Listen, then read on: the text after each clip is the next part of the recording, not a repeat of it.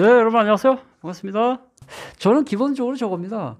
제가 에, 처음에 유튜브 시작하게 된 계기도 방탄소년단 때문에 시작하게 됐고 지금도 방탄소년단 소식 전해드리면서 유튜브를 하게 됐고 라이브도 그렇게 하게 된 거기 때문에 에, 저는 기본 베이스는 방탄소년 팬이라는 걸 항상 잊지 않고 있습니다. 그걸 기초로 해서 뭐 다른 건 뭐 어떻게 하더라도 방탄소년 팬이라는 거 그걸 기반으로 그 시각으로 보고 있죠. 자, 그래서 방탄소년단 멤버들이 작년도에 군대 입대하기 전에 재계약을 에, 맺었습니다. 그때 그 계약 기간과 계약 금에 대한 건 발표를 안 했죠. 왜냐하면 그 어떤 기획사도 소속 가수들의 계약금하고 계약 기간 같은 거 발표 안 합니다.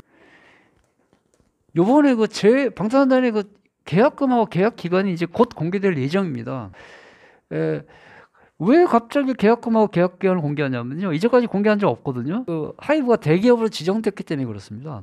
그래서 하이브가 대기업 집단, 아, 쉬운 말로 하면 재벌 그룹으로 지정이 됐지 않습니까? 얼마 전에 우리나라 정부 그 공정거래위원회라고 하는 곳인데요. 그냥 제가 정부라고 할게요. 너무 전문적으로 하면 우리 머리 아프니까 쉽게 쉽게 합시다. 정부에서 하이브를 대기업 집단 즉 재벌 그룹으로 지정했습니다.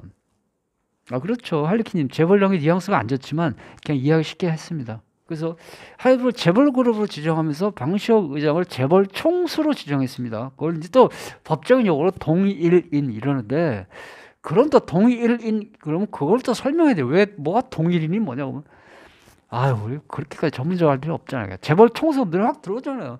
재벌 그룹 어 재벌 됐구나. 또 재벌 총수가 됐구나. 어 재벌 총수가 됐구나. 금방이 되지 않습니까? 쉽게 쉽게 하는 게 좋죠. 재벌그룹 지정되면 장단점이 있습니다. 뭐 장점은 뭐 여러 가지 예, 해외에서도 엄청나게 격이 올라가고 뭐 이런 거겠지만 단점은 또 이제 회사 내부 사정을 막 공개를 해야 돼요. 엄청나게. 그래서 할 수 없이 그 이제 회사 내 모든 사항 중요 사항을 증권거래소 공시를 하는 건데요. 그냥 공개 이렇게 하겠습니다. 공개. 예, 소속 아티스트의 계약금하고 계약 기간은 회사 내부 거래, 어, 계열사 간 거래, 내부 거래 현황, 뭐 이런 거 속한다고 합니다. 그거를 이제 공시를 이제 한다면 조만간에 이제 해야 될 것 같은데요. 그래서 이제 어, 최초로 드디어 방탄소년단의 계약금, 계약금하고 계약 기간이 이제 공시, 공개가 될 걸로 예상하고 있습니다. 예, 방탄소년단 멤버들의 계약 기간은 7년으로 예상하고 있고요. 계약금은 관계자의 말입니다. 700억. 그 제가 솔직히 말씀드릴게요. 솔직히 이게 1인당 700억인지 토탈 700억인지 저 모릅니다. 그 댓글로 그거 많이 물어보시더라고요. 1인당 700억도 적다고 그러시는 분들 많았는데 하물며 토탈 700억은 너무 터무니없다고 하실 텐데 제가 이게 1인당 700억인지 7명이 700억인지까지 제가 솔직히 모릅니다, 저. 아, 저 솔직히 모르는 거 모른다고 해야 되죠. 제가 뭐 아는 척할 필요 뭐가 있습니까? 토탈이면 1인당 100억이라는 얘기죠. 아, 근데 만약에 1인당 700억이면 그건 엄청나게 많이 준 거예요. 괜히 애들처럼 아우 뭐 최소한 천억, 이천억짜리 그런 말 하지 마세요. 뭐 사회가 그렇게 뭐, 뭐 만만한다니까 그런 거 아니에요. 계약금이지 그게 뭐 벌어들인다는 수익을 주는 게 아니지 않습니까? 일단 계약금만 그러고 수익하고 계약금하고 다르잖아요. 수익은 또 수익 나왔는데 또몇 대 몇으로 나눠 가지는 판고 있는데 무슨 뭐 방사님 뭐 몇 조 원을 버는데 1인당 계약금이 뭐 몇 천억 돼야 되지 않냐 이렇게 올리시는 분들 너무 너무 그거는 초딩같이 생각하신 거예요. 만약에 1인당 700억이라고 그래도 제가 말씀드릴게요.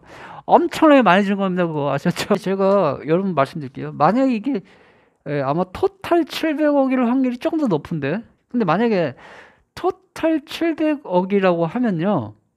여러분 오해하시면 안 됩니다. 계약금이 중요한 게 아니라요. 퍼센티지가 중요한 거예요. 아니 계약금을 천억 주면 뭐합니까? 수익 배분을 9대 1로 해버리면 하이브가 9 먹고 방탄 1 먹으면 그게 무슨 의미예요? 방탄은 월드 투어 돌고 음악 판매하고 그러면 몇 조 원을 벌 텐데 몇 조 원. total로 700억의 계약금이라고 하면 수익 배분이 최소한도 6대 4입니다. 그러면 6대 4. 물론 방탄이 이기고 비기 하이브가 4죠. 또는 7대 3. 방탄이 7이고 하이브가 3. 그럼 계약금 100억, 10억 받아도 돼, 10억 받아. 수익, 7, 7대 3이면, 그 계약금까지 안 받아도, 안 받아도 수익금 7대 3 배분하면 그게 몇천억인데. 여러분, 이, 이해되셨죠? 예, 7명 토탈 계약금이라면 수익 배분이 제가 보기엔 한 7대 3 정도로 되지 않을까. 이렇게 생각하고 있습니다. 여러분 이해되셨죠? 7대 3으로 하면요. 방탄이 앞으로 컴백해서 콘서트 1년에 내가 보기에 1년에 1조 원 이상 벌 텐데. 1조 원 이상. 그럼 1년에 7천억 원 방탄들이 먹는 거예요? 7천억 원 그냥. 아, 물론 정확하지만 쉽게 말하면 7천, 7천억 원 먹는 거예요. 1인당 천억씩 먹는 거예요. 매년 매년. 매년 천억씩. 근데 무슨 계약금 뭐 어쩌고저쩌고 그거 가지고 신경 쓸 필요가 없습니다. 그렇죠. 9대1 만 9대1이면 더 어마어마한 거죠. 이제 이해하셨죠? 그러니까 오히려 저는 계약금이 이게 700억이 1인당 700억이 아니길 바래요. 이게 1인당 700억이면 틀림없이 그 수익 배분이 불리하게 됐을 거예요. 야, 이거 봐. 계약금 무려 1인당 700억 썼잖아? 그럼 우리 수익 배분 5대, 5대 5로 가자. 이렇게. 그런 겁니다. 그 계약금 이게 토탈 7명 총 계약금이 700억이라는 라면 훨씬 더 이게 저는 유리한 제발 이게 토탈 700억을 저는 바래요. 그러면 수익 배분이 못해도 7대3 이상 될 겁니다. 그게 100번 난 겁니다. 100번. 이해하셨죠?